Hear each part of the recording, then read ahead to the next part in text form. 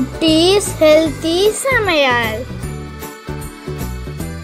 Hello friends welcome to குட்டீஸ் healthy சமையல் இன்றைக்கி நம்ம மேங்கோ மார்பிள் கேக் எப்படி செய்கிறதுன்னு பார்க்கலாமா? இப்போ நம்ம இந்த மார்பிள் கேக் ரெடி பண்ணுறதுக்கு ஃபஸ்ட்டு ஒரு கப் மாவு கோதுமை மாவோ இல்லை மைதா மாவு எடுத்து நான் இன்றைக்கி மைதா மாவு எடுத்திருக்கேன். அதை ரெண்டு பார்ட்டாக பிரித்து ஒரு ஆஃப் கப்பில் half half spoon baking powder இன்னொரு ஆஃப் கப்பில் ஆஃப் ஸ்பூன் பேக்கிங் பவுடர் போட்டு நல்லா ஜலிச்சு வச்சுருக்கேன். இப்போது இந்த ட்ரை இன்க்ரீடியன்ஸ் நமக்கு ரெடி ஆயிடுச்சு. ரெண்டு கலர் ரெடி பண்ணுறதுக்கு இப்போ நெக்ஸ்ட்டு வந்து நம்ம எல்லோ கலர் எப்படி ரெடி பண்ணுறது பார்க்கலாம். அந்த மாம்பழத்தை வந்து ஒரு கால் கப் நான் மிக்சியில் அடித்து எடுத்து வச்சுருக்கேன். அதை மிக்சியில் ஆட் பண்ணிக்கலாம். அது கூட கால் கப் சுகர் ஆட் பண்ணி அப்புறம் கால் கப் ஆயில் நீங்கள் குக்கிங் ஆயில் எதுனாலும் யூஸ் பண்ணிக்கலாம். பட் கடலெண்ணெய் நல்லெண்ணெய் யூஸ் பண்ணக்கூடாது. அந்த ஸ்மெல் வரும். அதனால் குக்கிங் ஆயில் ரீஃபைண்ட் ஆயிலும் எடுத்து யூஸ் பண்ணிக்கலாம்.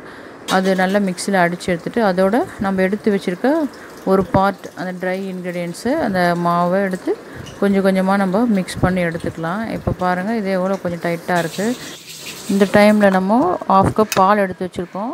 அந்த இதுக்கு எவ்வளோ தேவையோ அவ்வளோ கொஞ்சம் கொஞ்சமாக ஆட் பண்ணி நம்ம மிக்ஸ் பண்ணிக்கலாம். இந்த மாதிரி இந்த கன்சிஸ்டன்சி வர வரைக்கும் நம்ம மிக்ஸ் பண்ணிக்கணும். இப்போ பாருங்கள் கரெக்டான கன்சிஸ்டன்சி வந்துச்சு.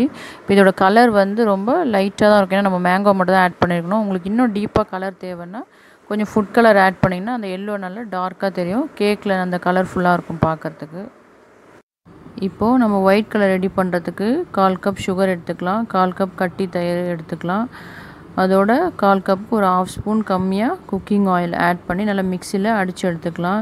இப்போ நம்ம மிக்சியில் அடித்து எடுத்ததோட நம்ம எடுத்து வச்சுக்கிற ட்ரை இன்க்ரீடியன்ஸ் அந்த ஆஃப் கப் எடுத்து வச்சுருந்தோம் இல்லையா மாவு அதை கொஞ்சம் கொஞ்சமாக ஆட் பண்ணி நம்ம மிக்ஸ் பண்ணிக்கலாம். அது கூட ஒரு ஸ்பூன் வெனிலா எசன்ஸும் ஆட் பண்ணிக்கலாம். இப்போ நம்ம கொஞ்சம் கொஞ்சமாக ஆட் பண்ணும்போது நமக்கு அந்த பேட்டர் வந்து கட்டியாக இருக்கும். ஸோ இது நமக்கு இன்னும் ஏற்கனவே எடுத்து வச்சிருந்த பாலில் மீதி இருக்குது அந்த பாலை வந்து கொஞ்சம் கொஞ்சமாக ஊற்றி நம்ம ஆட் பண்ணிக்கலாம். இந்த மாதிரி கன்சிஸ்டன்சி வரணும். ஸோ இப்போ நமக்கு ஒயிட் கலரும் எல்லோ கலர் ரெடி ஆகிடுச்சு இப்போது நம்ம ஒரு பாத்திரத்தை க்ரீஸ் பண்ணி வச்சுருக்கோம். அதில் ஒயிட் பேட்டர் ஒரு ஸ்பூன் ஊற்றிக்கலாம் அதுக்கப்புறம் எல்லோ பேட்டர் அது மேலே ஒரு ஸ்பூன் ஊற்றிக்கலாம் அந்த மாதிரி மாற்றி மாற்றி நம்ம ஆல்டர்னேட்டிவாக ஊற்றும் போது அது அந்த பவுல் ஃபுல்லாக ஸ்ப்ரெட் ஆகி ஸ்ப்ரெட் ஆகும். அப்போது அந்த கேக் வந்து நமக்கு ஒரு டிசைனாக வரும். அதேமாதிரி ஃபினிஷ் பண்ணும்போது ஒயிட்டோ இல்லை எல்லோவோ ஏதோ ஒரு பேட்ரு வச்சு நமக்கு எது கடைசியாவது அதை ஃபினிஷ் பண்ணி முடிச்சுட்டு இப்போ நம்ம ஒரு டூத் பிக் எடுத்து அந்த மாவில் உள்ளேருந்து நம்ம ஒரு டிசைன் போட்டுக்கலாம். நாங்கள் ஜிக்ஸாக அப்படி ஃபோர் கார்னர்ஸில் டிசைன் போட்டோம்.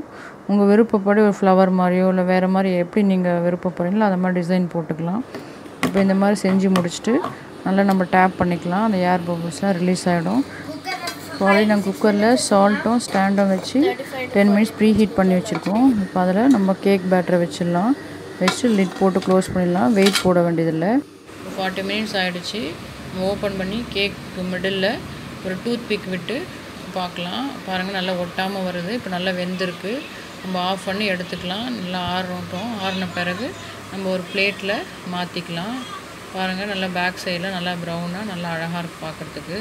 இந்த ஃப்ரண்ட்டில் நல்லா மார்பிள்ஸ் மாதிரி இருப்பாங்க டிசைன் நம்ம பண்ணது. இப்போ நம்ம கட் பண்ணிக்கலாம். பாருங்கள் எவ்வளோ நல்லா சாஃப்டாக வந்திருக்கு. மெஷர்மெண்ட்ஸ் நம்ம கரெக்டாக யூஸ் பண்ணோம்னா நல்லா கேக் சாஃப்டாக இருக்கும். Hmm so soft yummy tasty நீங்களும் ட்ரை பண்ணுங்க. என்ஜாய் பண்ணுங்க. ஹெல்த்தியாக இருங்க.